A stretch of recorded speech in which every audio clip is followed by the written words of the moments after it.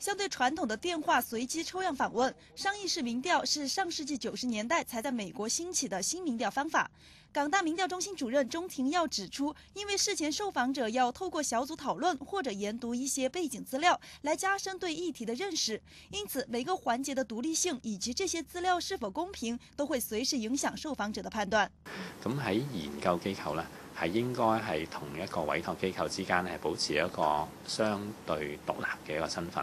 換言之咧，喺誒設計問題又好，喺誒設計即係誒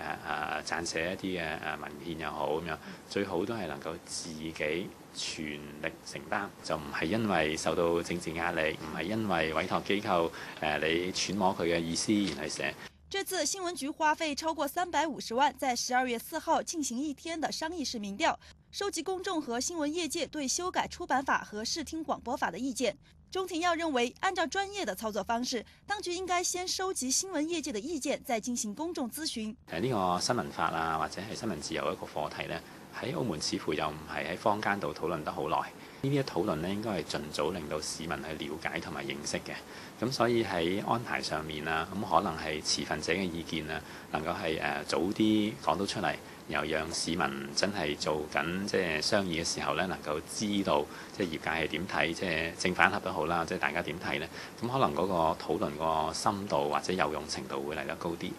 钟庭耀認為，針對新聞界的專業諮詢並不適用於商議式民調。澳優視彭矮子、王冠中香港報道。